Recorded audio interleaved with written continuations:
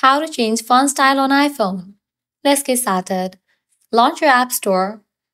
Now, search for the app fonts. With that, different options will appear. Head towards this one app and then download it. Once completion of its download process, launch it.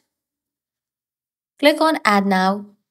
With that, you have just given access to this app for the keyboard on your iPhone. Now head over to the option of keyboard. Click on Keyboards Click on Add New Keyboard.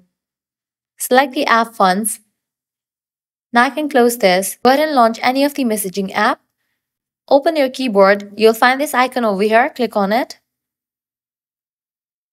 And over here, you're going to find different fonts. You can see that. Likewise, you can close this. Launch your fonts app. You'll be directed to this page. Now in this page, you're going to find tons of font style options. You can use any of these. You can just type in the text that you want to send over here.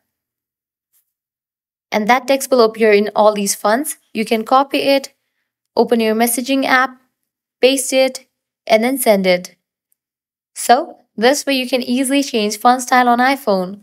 That's a wrap for this video. If you guys find this video helpful, don't forget to like, share and subscribe to our channel. Thanks for watching.